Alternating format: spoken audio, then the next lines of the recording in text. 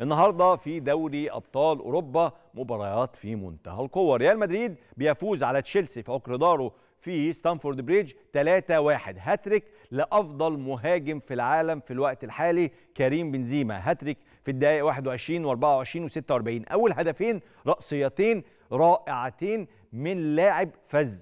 واحدة منهم زي الصاروخ براسه أكنه شايطها برجله. الثانية فيها فيها مهارة توجيه مش طبيعية والهدف الثالث جابه بخطأ من مين؟ من إدوارد مندي حارس تشيلسي حارس المنتخب السنغالي. خطأ فادح جدا عشان يفوز ريال مدريد. 3-1 بالمناسبة هدف تشيلسي جابه كاي هافرز في الدقيقة 40 هدف الوحيد كده ريال مدريد قطع شوط طويل جدا للدور القادم في دوري أبطال أوروبا.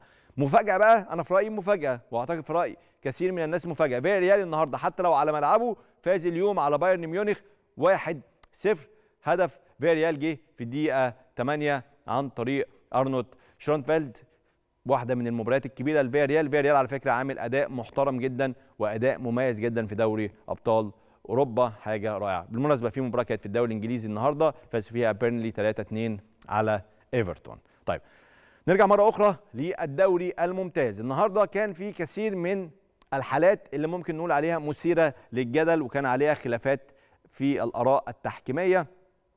كالعادة نسمع الآراء التحكيمية من الخبراء التحكيميين وخبيرنا التحكيمي الدائم الرائع المميز كالعادة الكابتن الكبير كابتن جهاد جريشة يقول لنا رأيه في الحالات التحكيمية في مباريات اليوم. يا فندم صباح الخير مشرف ومنور.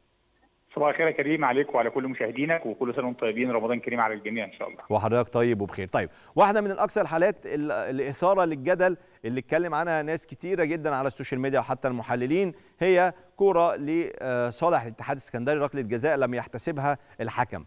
كانت ضد عمرو السولية لاعب النادي الأهلي. هل هذه اللعبة تستحق ركلة جزاء ولا لا؟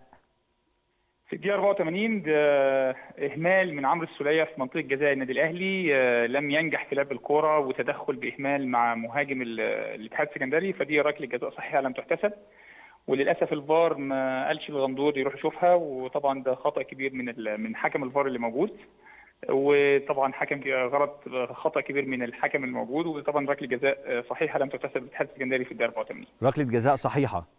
لم تحتسب عارف أرجع برضه يا كريم لركلة جزاء الأهلي. هي ركلة جزاء صحيحة لا طب قبل قبل قبل قبل ما نروح لركلة جزاء الأهلي حضرتك بتقول لي إن ركلة الجزاء دي التي لم تحتسب ضد عمرو السولية هي ركلة جزاء صحيحة لصالح الاتحاد السكندري.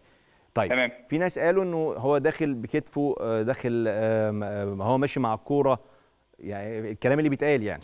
أنا بس بتناقش مع حضرتك بص كريم إحنا بنتكلم كتحكيم آه. الالتضام أو الالتحام اللي حصل للرجل في الرجل أو الفخذ في الفخذ ده التحام حصل إهمال من عمرو السولية أنا بعاملك يا عمرو لو أنت خدت الكورة ما عنديش مشكلة معاك خالص لو لعبت الكورة ما عنديش مشكلة معاك خالص لكن الاحتكاك اللي حصل الرجل في الرجل أو الفخذ في الفخذ مش. الكتف في الكتف OK. فرق كبير جدا لو الكتف في. الكتف أقول لك OK ده التحام طبيعي جدا والكتف في الكتف لكن أنت دخلت ما اخدتش الكورة عملت إعاقة للمهاجم آه، الفخذ في الفخذ أو الرجل في الرجل وبالتالي دي آه، ده إهمال من ال من ال من ال مدافع الأهلي أو لاعب نص الأهلي عمرو السولية طيب.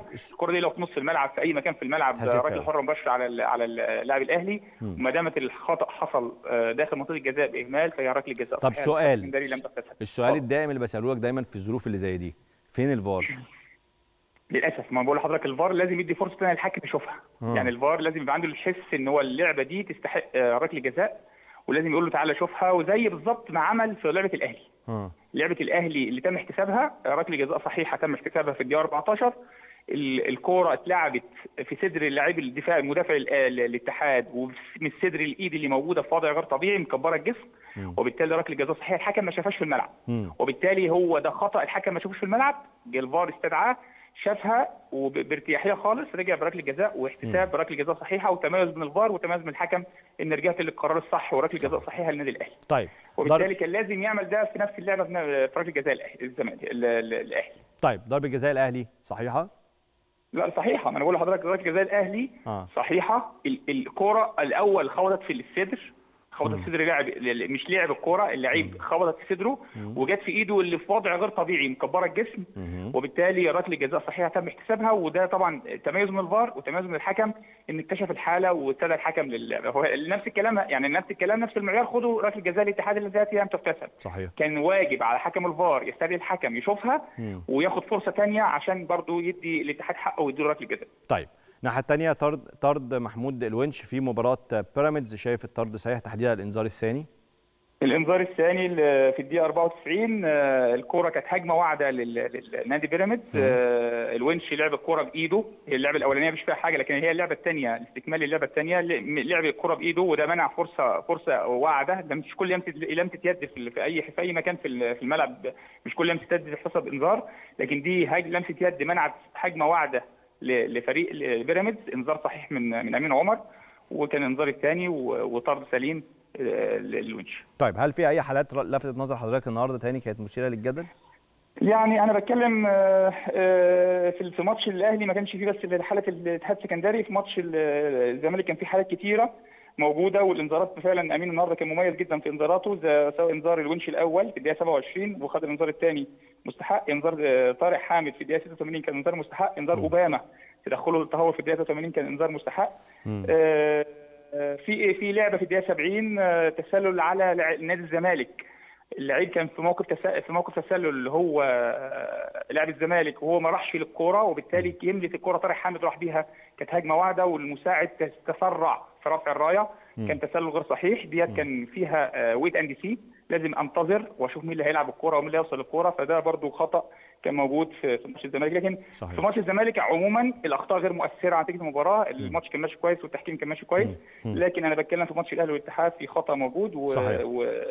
آه، آه، في ماتش الاهلي والاتحاد برضه كان في هدف ملغي للاتحاد السكندري. التسلل كان التسلل صحيح. مظبوط. والمساعد رفع في الملعب والمراجعة من الفار. والإلغاء كان كان صحيح. سليم. كابتن جهاد أنا بشكرك كالعادة. كابتن جهاد جريشة خبيرنا التحكيمي الكبير أنا بشكرك شكرا جزيلا.